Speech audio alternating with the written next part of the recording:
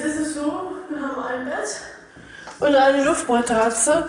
Einer kann bei mir im Bett schlafen und der andere muss leider die Luftmatratze nehmen. Also, wer was nimmt, da müsst ihr euch selbst entscheiden. Nick, schnack, schnuck.